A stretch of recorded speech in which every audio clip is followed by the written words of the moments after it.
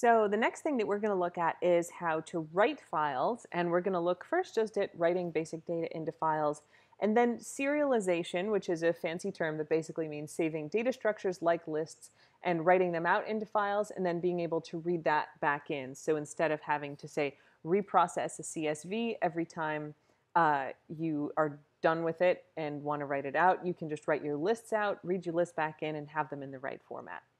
So let's start with just basic file output. How do you open a file and write something out into it?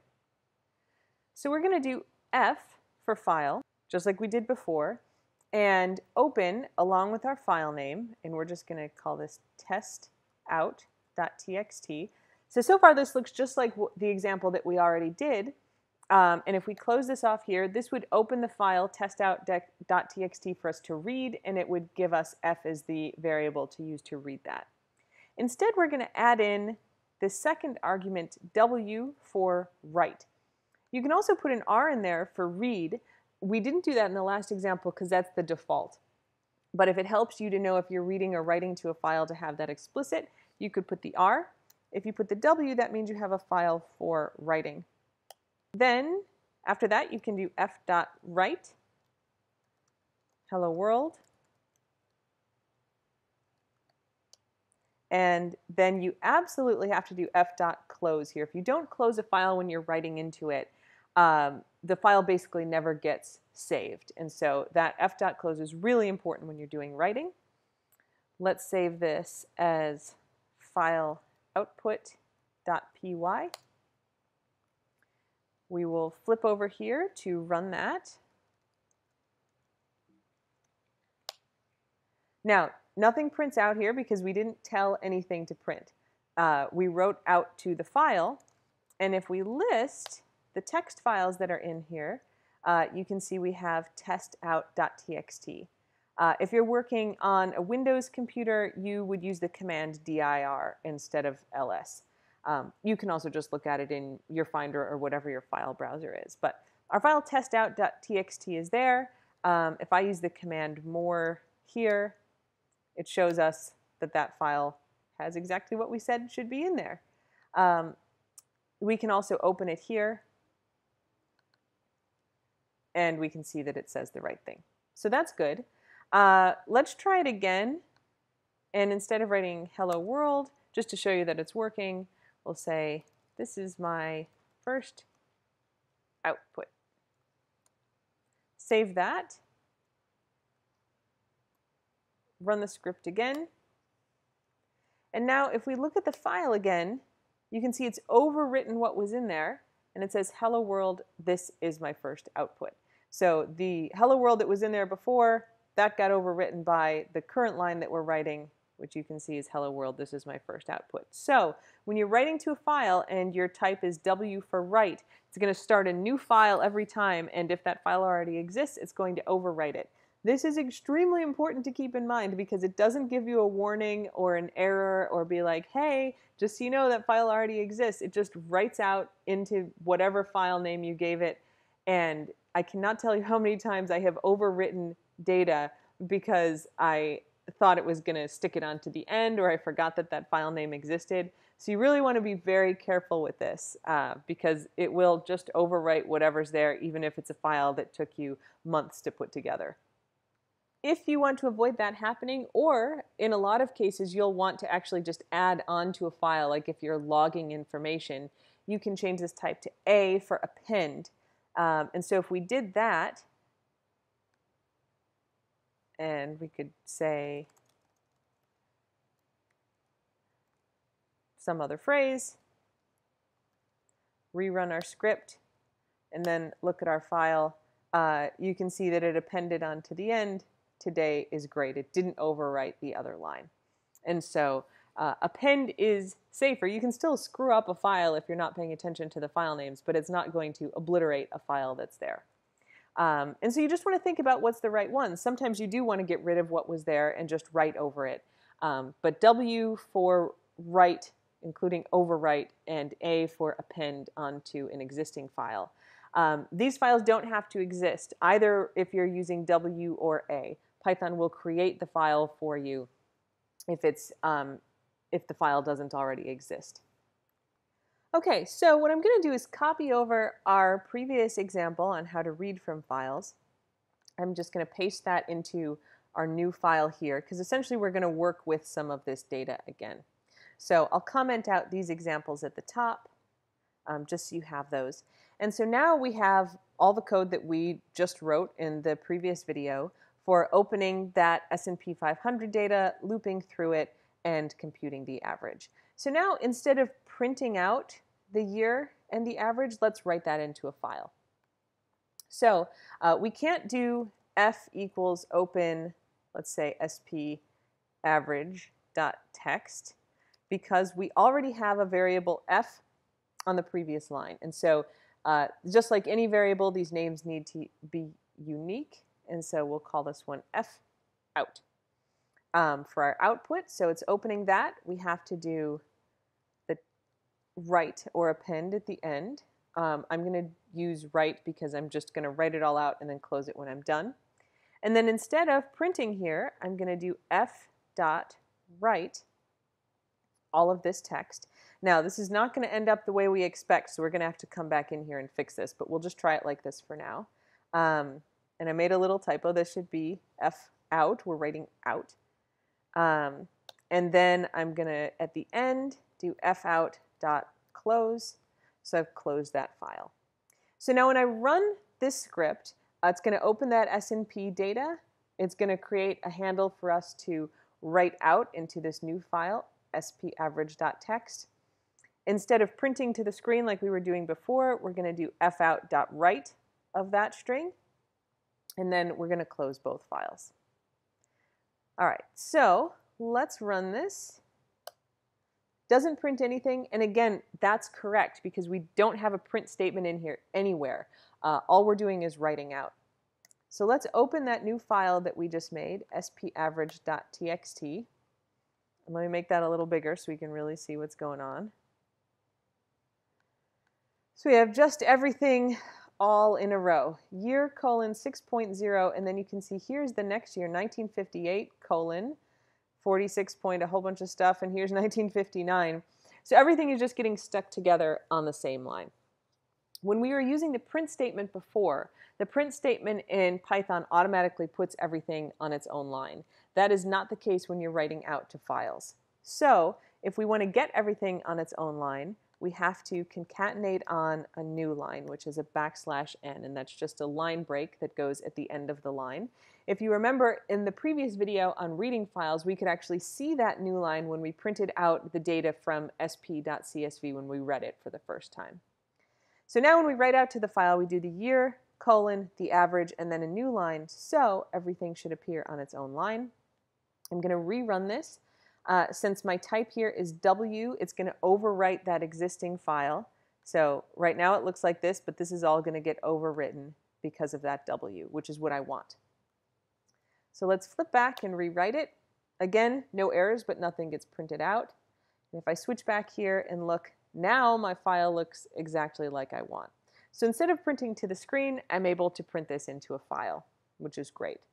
Um, and this is something that you're going to do all the time is process data and then write it out into some useful format uh, into a file. So the final thing that we're going to talk about in this lecture is instead of just writing out this, uh, these strings, which gives us some nice human readable text, how would we write out something like saving this array, M2? Right now we could print it out with commas in between and have a CSV, a comma separated values file, read it back in later, and then do this whole process of reading the file, looping through it, um, splitting it, doing whatever we have to do, and putting it back into the array. I'm sorry, into the list, but there's a better way to do that, and that's with serialization. So to serialize things in Python, we're going to use this package called pickle.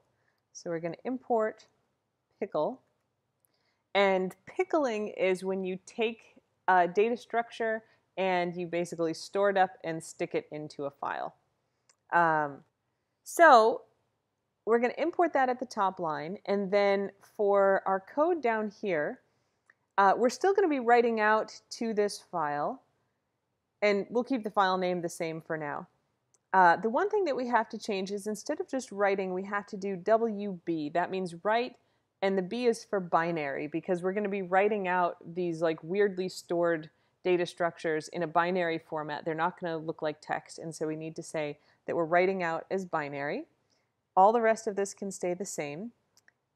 And then instead of printing out these averages like this part down here, this average and this uh, file out writing, we're not going to do that because instead of writing out text here, we just want to save uh, our array, our list, M2. And so instead of doing that average and printing it out, we basically want to say stick M2 as it is with like the correct types and everything into a file. And so to do that, we do pickle dot dump, and then we have the data structure that we want to write out and the file handle. So this says basically dump out to the file M2, this is the file handle, and this is all part of something provided in the pickle package. When we're done, we keep that fout dot close. Now if we save this and we run it, We get nothing showing up here, again, because we're not printing anything out. But if we come back and check the file, here's what it looks like. Uh, so we've written a bunch of binary stuff out there, totally not useful to us as human beings, but this has stored all of our lists in it. Um, so just to be clear here, what we've done is just what we were doing before. We're going through our file sp.csv. For every year, we're reading in the line, splitting it up, uh, turning the month averages, uh, the monthly closing numbers into floating point numbers, and that's stored in this array M2. And then we're going to write that out into our file with this package pickle. Now, uh, if we want to see that working, let's actually open a new file. And we'll make that text big enough so you all can read it. Uh, and in this file, we're going to read back in that data.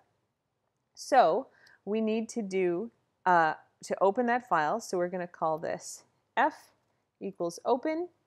The name of our file is still spaverage.txt. And then we're going to do RB. Remember, R is for reading, and we still need that B for binary. We're also going to import pickle here. And now what we want to do is loop through that file and instead of reading in a line of text like we did over here with readline, we're going to basically grab and load the data that was pickled and stored there. So let's save this as read pickle.py. That'll get us some nice color coding.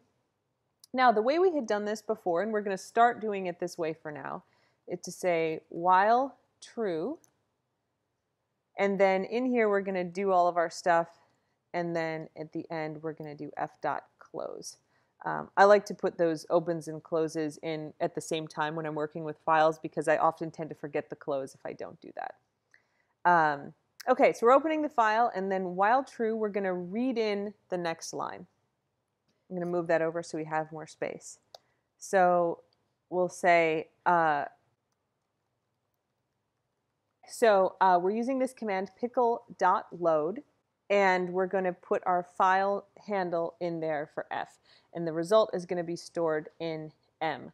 So that's just going to be an array, I'm sorry, a list. Um, it's our month list that we had before. We were calling it m2 in the previous file. Here we're just going to call it m for short.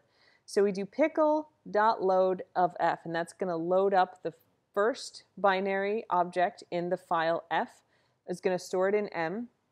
We could then print M. And then in the loop, it's going to go back and loop again. It's going to load up the next binary object until it goes through all of them. So let's take a look at this running. Uh, now we're going to change our file name here to readpickle.py. Run it. Okay, so nothing printed out. So that clearly means we have an error in here somewhere because uh, it should be printing stuff out. So let's take a look at what we've got. Um, so we're opening this. Let's, and here's how I debug. Let's just print out F there to see if that works. Oh, so I probably didn't save the file before because now it works fine. It looks like. So let's get rid of that. Okay, so we run it and it's looking great. What we have here clearly are our lists with the square brackets. We have the numbers without the quotes like we did the conversion of in, uh, in the first lecture on reading files. So everything looks great. We've got all of our items back. Um, there's a weird thing going on at the end here, which we're going to ignore for now.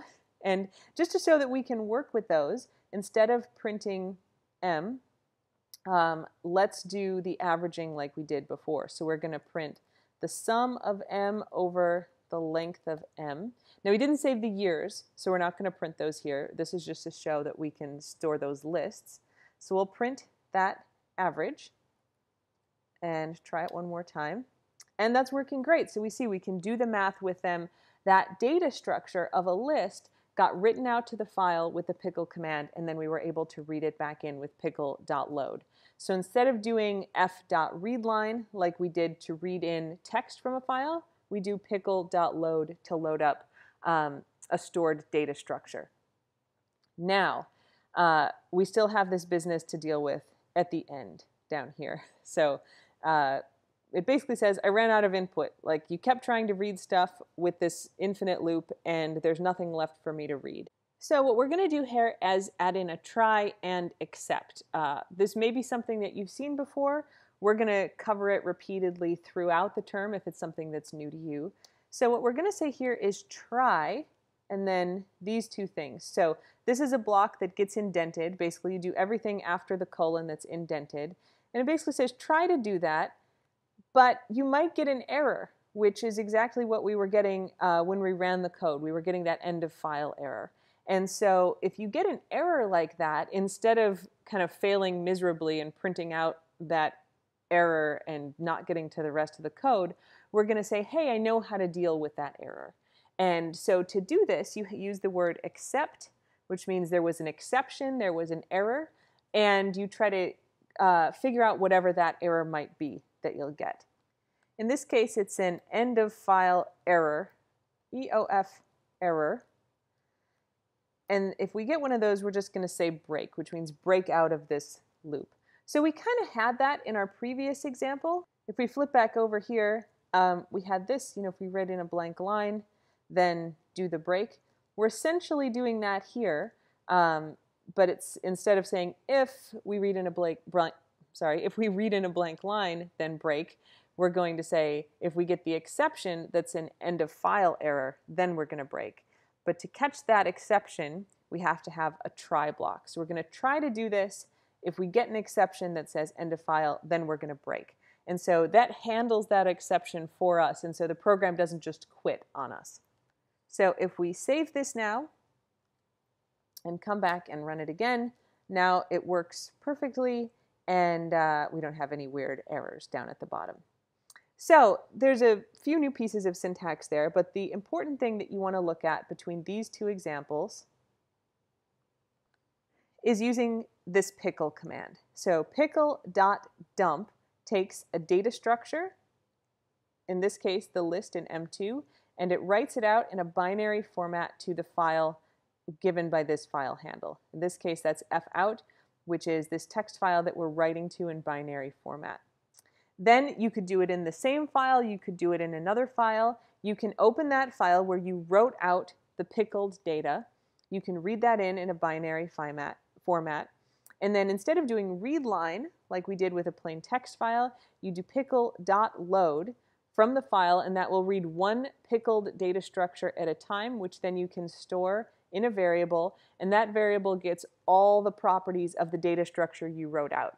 Everything has the right type, it's not text, it's like a proper data structure.